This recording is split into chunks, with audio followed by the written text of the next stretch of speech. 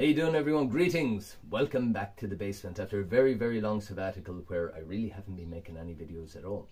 But let me just tell you before we start, don't be expecting high production value anymore and don't be expecting fancy editing, not that I ever really had any.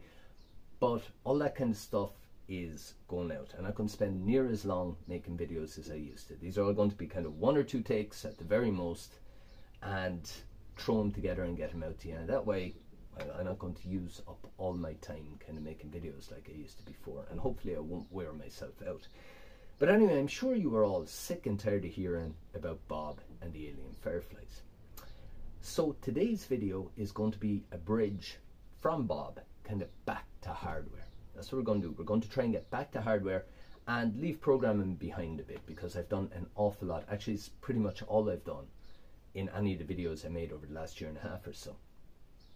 But what I want to say is that I finished up with my conversion of Bob and the Alien Fireflies over to the color computer. So I've got a version of that that'll run on the color computer 1, 2 and 3. And I've tested it myself fairly thoroughly. I found a few bugs, I've ironed them out, and it seems to be working quite well. So I sent it out for beta testing yesterday and we'll see if there's any major bugs found or anything and fix them up. But in the meantime, what I did was known that there's very little difference between the Dragon 32 and the color computer, I decided to convert over to make the game run on the Dragon. So kind of do a conversion over is apparently easy enough to do. Actually, in many, many situations, a machine language program, it'll run exactly the same on both systems with no conversion whatsoever. But if the program is kind of small, or if the programmer is lazy, or like me doesn't know a hell of a lot, there is a little bit of tweaking and conversion that needs to be done afterwards in order to get it run on the other system. So, like I say, I've compiled both of them, I've tested both of them on emulators, I've tested the Coco version on real hardware, and I know that's pretty good, but I haven't tested my Dragon version on real hardware. So I would like to convert this Coco to a Dragon, and we will uh, We'll see if it runs on it pretty much. But there's one or two little things. You see, any of the Coco testing I've been doing, I've been using my Coco SDC in order to put my disk image onto an SD card and load it up on the Coco, no trouble at all. Now this guy is compatible with a Dragon computer as well, but the, the problem is, or well, the thing is, the Dragon disk, disk images are slightly different than the Coco ones and I know absolutely nothing about him. And to tell you the truth, I couldn't be arsed learning about him. So the easiest way for me to get my Dragon version across to real hardware was to make a cassette file or a CAS file and convert it to a WAV, which I copied onto a tape here. And we're going to load it from the tape recorder onto the Coco converted Dragon thing and see does this damn thing work. And in the process, we look at how to put the thing onto a cassette as well while we're doing it.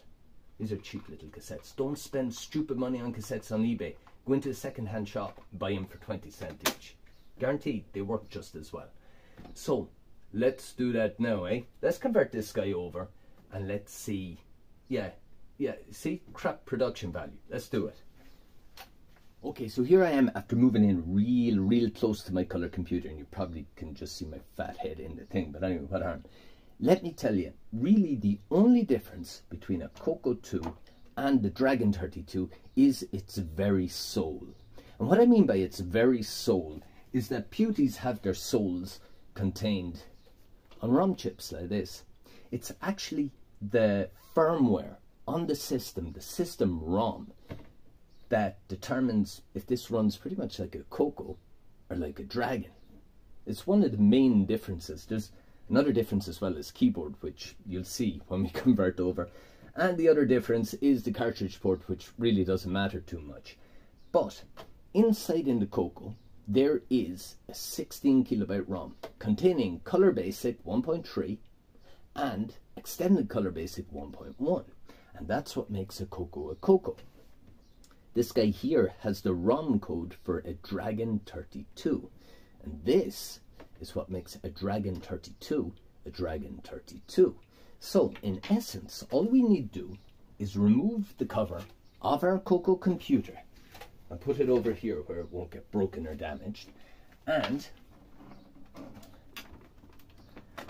this chip right here, I'm not sure if you can see it. Can you see it? Oh yeah, maybe you can. This chip right here is the ROM chip inside in the Coco. We're going to whip that out. We're going to replace it with the other one I showed you.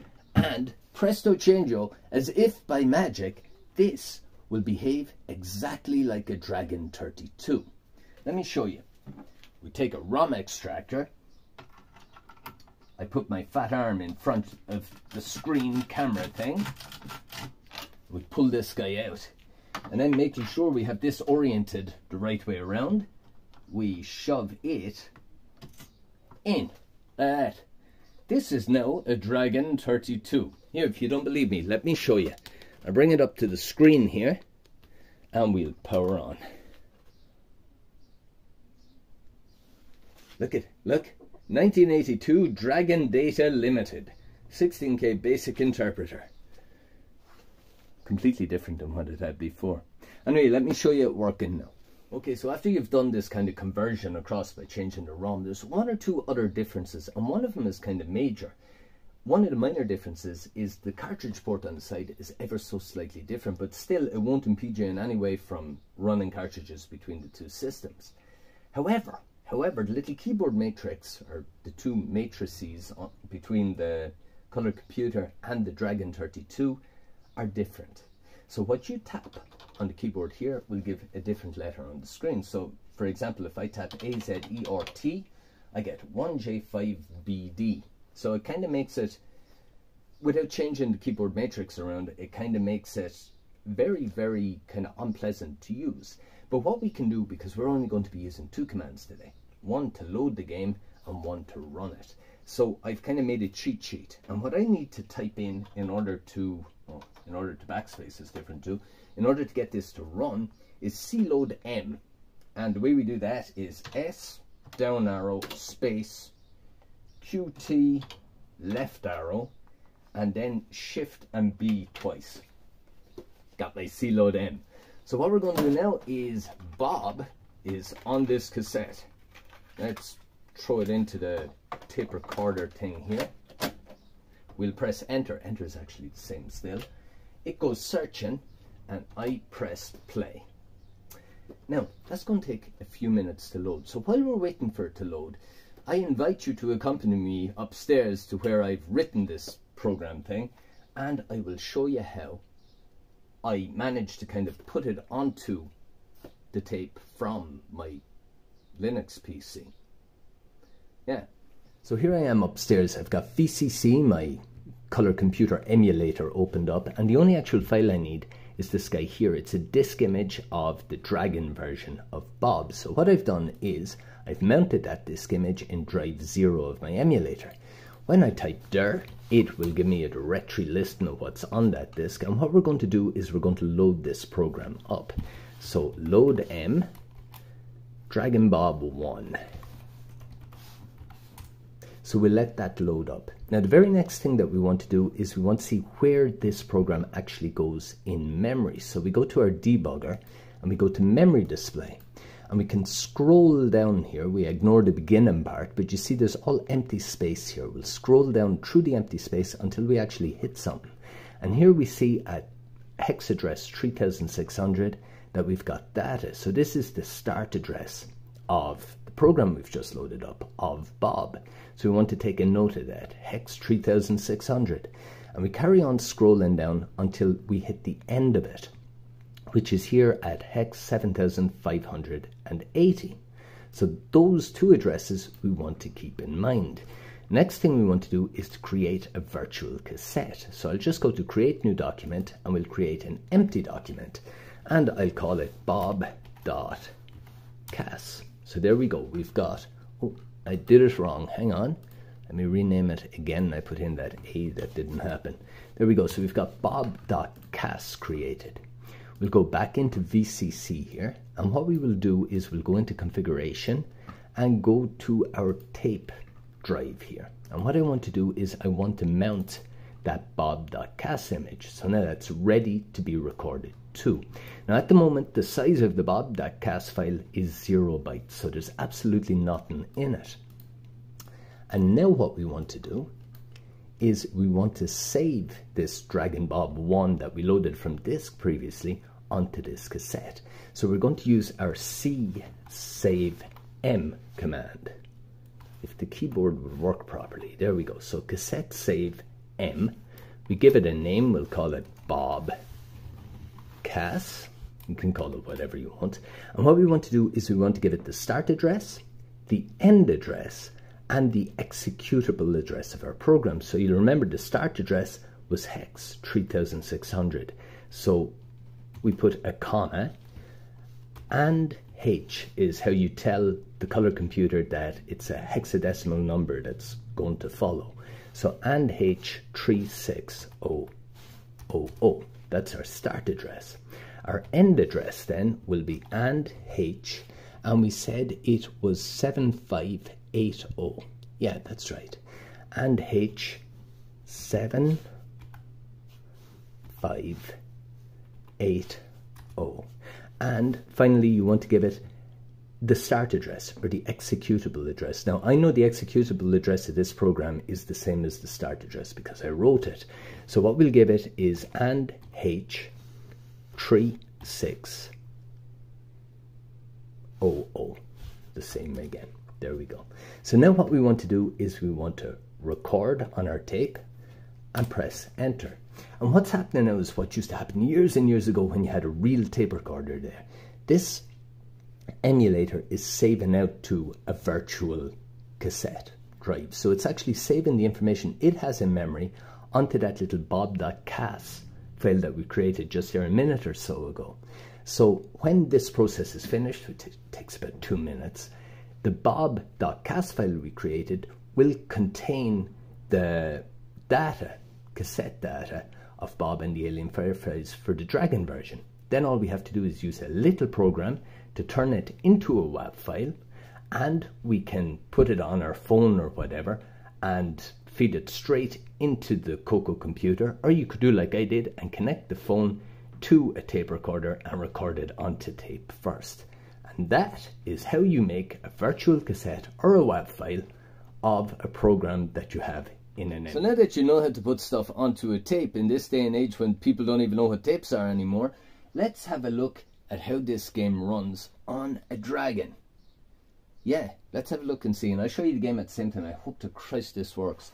Anyway, what we need to type in order to get EXEC to get this thing to run is U8US. U8US. And we've got EXEC. Ah, see? It's coming up exactly the same as it did on the old Coco. Now, again, I'm after putting in kind of a few bits and pieces extra into this that the Atari version didn't have. I've got the story kind of integrated into the program so I can't get lost. I've got the instructions on how to play the actual game and I've also got thanks to a few people in there as well. And there's still the two different game versions, one player and two player. So again, because the keyboard matrix is different, in order to start a one player game, I'm not going to be pressing one. I'm going to have to press A. And actually of makes sense. The two player game, I press B. But let's have a little look and see what it's all about. Put you there now. So here is the culmination of kind of eight months of work to kind of write this thing. Anyway, here we are. Look at Bob, and he moving around. Look at him. He can go in all eight directions, up, down, left, and right. And he has to pick up these little fireflies before they kind of turn, well, they'll turn red and then they'll explode and that'll be game over for them. But as we collect them, I've got my little jar of bugs down here at the bottom of the screen. And each firefly that we collect will appear in the jar with the colour he had when we collected him.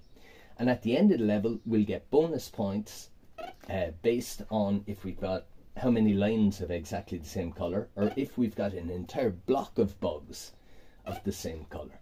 Now the other change I've kind of made, apart from the graphics looking a little bit better, we've got a little animated bug here, We've got a much more hedgehoggy looking kind of Bob Hedgehog, but I've also put in some levels. So you'll notice that it kind of starts easy enough to play. The lines here are moving slowly enough.